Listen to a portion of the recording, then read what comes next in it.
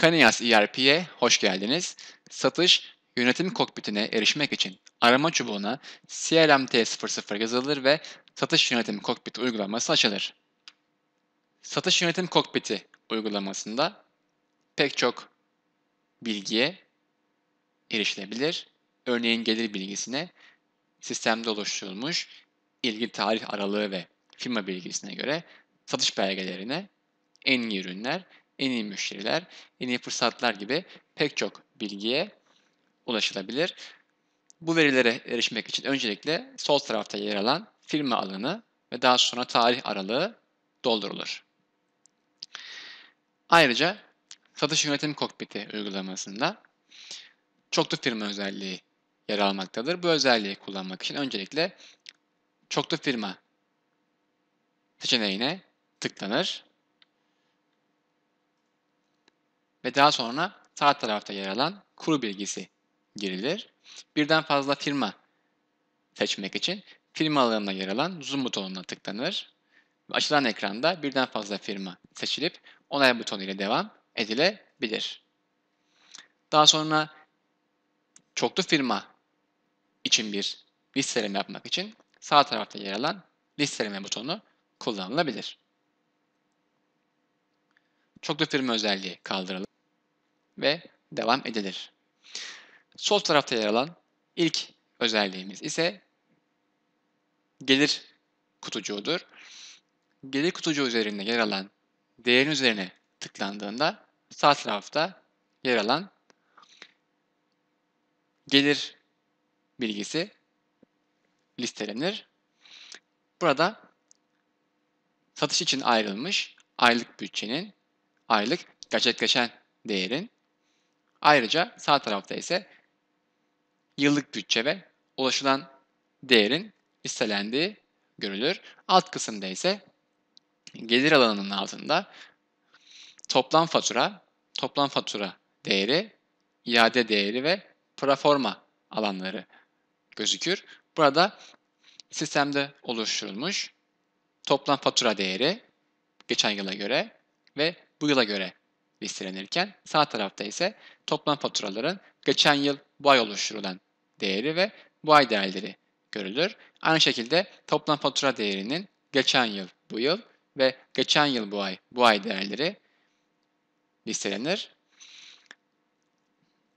İade değerinde ise geçen yıl hesaplanan iade değeri ve bu hesaplanan iade değeri. Sağ tarafta ise geçen yıl bu ay ve bu ay değeri listelenir. Son olarak oluşturulmuş proforma, geçen yıl değeri, bu yıl değeri ve geçen yıl bu ay ve son olarak bu ay değerleri genel sekmesi altında gelir kutucuğunun altında listelenir. Diğer bir sekmemiz ise en iyi ürünler sekmesidir. En iyi ürünler sekmesinde listelenen ürünler satış işleminin gerçekleştiği 10 üründür. En iyi müşteriler sekmesinde ise satış işleminin gerçekleştirildiği en iyi 10 müşteridir. En iyi fırsatlar sekmesinde ise oluşturulmuş en iyi fırsatlardır. Diğer bir özelliğimiz ise onaylanabilir belgelerdir. Bu belgelere erişmek için hepsi alanın üzerinde yer alan sayı değerine tıklanır. Burada sisteme giren kullanıcı için onay bekleyen, imzasız, henüz imzalanmamış satış belgeleri listelenir. Burada 16 tane toplam satış belgesi listelenmiştir. Bunlardan 6 tanesinin teklif olduğu, 3 tanesinin sipariş, 3 tanesinin irsaliye ve 4 tanesinin fatura olduğu yukarıdaki kutucuklardan gösterilir. Ayrıca listelenen belgelerin seçilip sağ tarafta yer alan özellikler kullanılabilir. İlgili belge seçilip sağ tarafta yer alan göster butonuna tıklanırsa ilgili belgenin detayına gidilebilir. Değiştir butonuna tıklanırsa ilgili belgenin detayına gidilebilir ve değişiklik yapılabilir. ilgili belgeler henüz imzalanmamış, imza bekleyen belgeler olduğu için imzala butonu ile imzalanabilir. Oluşturulmuş satış belgesinin belge tarihçesine bakılabilir. İlgili satış belgesindeki müşterinin detayına gitmek için müşteri butonuna tıklanılabilir. Ve son olarak belgede yer alan malzemenin detayına gitmek için de ürün butonuna tıklanılabilir. Bunun için belgeyi seçip butonları kullanmak yeterlidir. Ayrılan onaylanabilir belgeler yukarıdan tekrar listelenebilir. Örneğin teklif belgeleri listelemek için hepsi alanına yer alan değere tıklanır ve teklif belgeleri listelenir. Eğer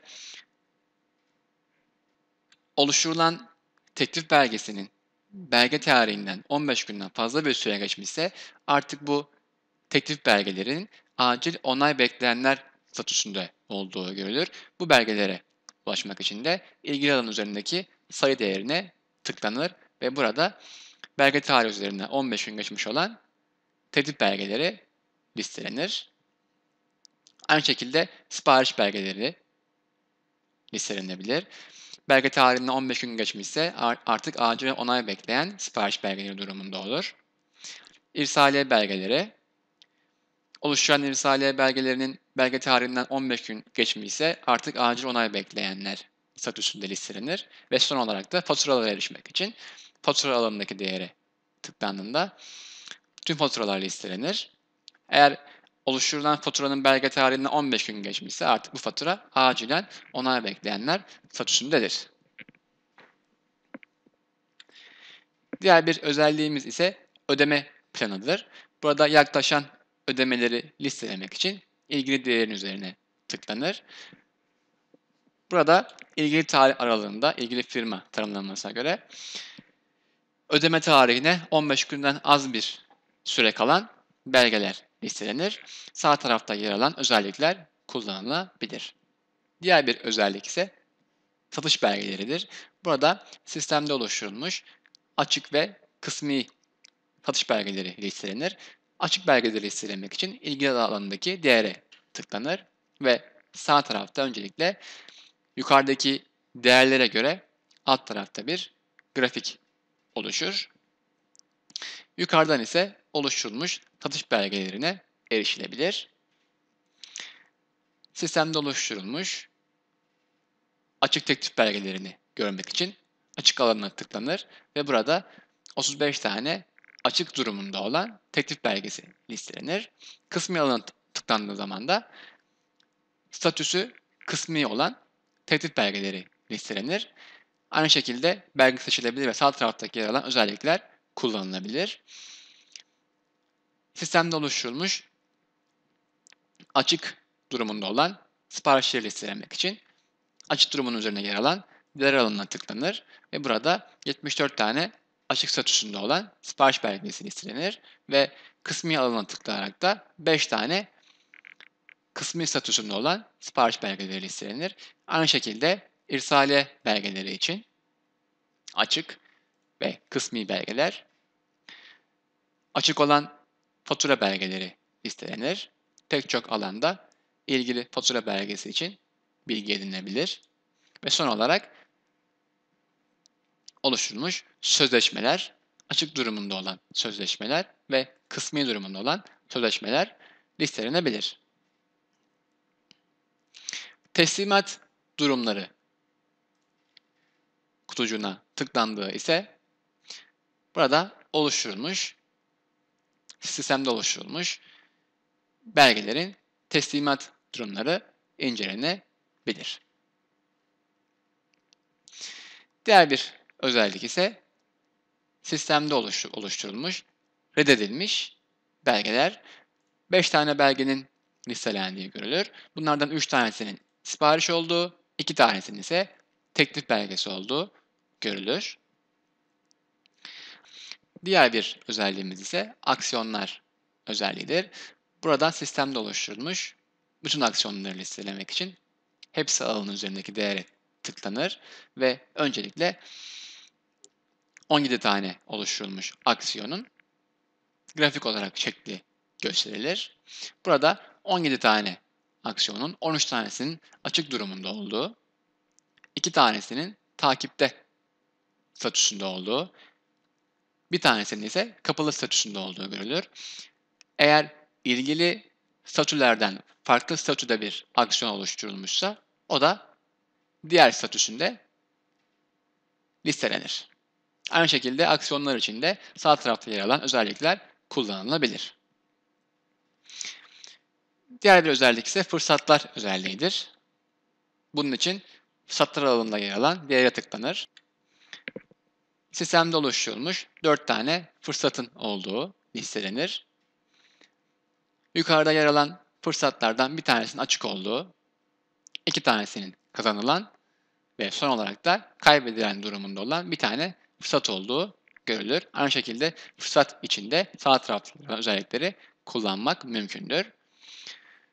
Son özellik sorunlar özelliğidir. Sistemde oluşturulmuş sorunları listelemek için hepsi alanının üstünde yer alan değere tıklanır. Burada öncelikle sağ tarafta yer alan grafik listelenir ve yukarıda da tüm oluşturulan fırsat sorunlar durumlarına göre ayrıca listelenir. Oluşturulan 4 tane sorundan bir tanesinin açık, bir tanesinin başlatılmış, bir tanesinin test durumunda ve son olarak bir tanesinin de kapanan durumunda olduğu görülür. Tabii ki sorunlar için de sağ tarafta yer alan özellikleri kullanmak mümkündür.